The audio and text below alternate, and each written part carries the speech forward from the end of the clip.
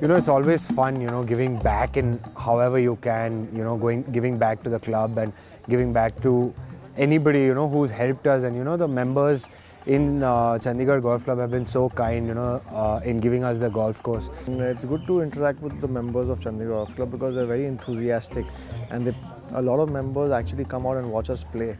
Uh, a couple of golf courses we have all over India where the members actually uh, love interacting with the professionals and they're always out there watching us like KGA is there, Royal Calcutta Golf Club, Pune, we have Chandigarh Golf Club, it's always good fun. Uh, well, the experience was really wonderful, and uh, uh, both the boys were very present. So, Saqib uh, uh, gave us some uh, very nice tips. He showed how to align the ball and as well as the stroke, you know. So, it became very clear how to hold the club as well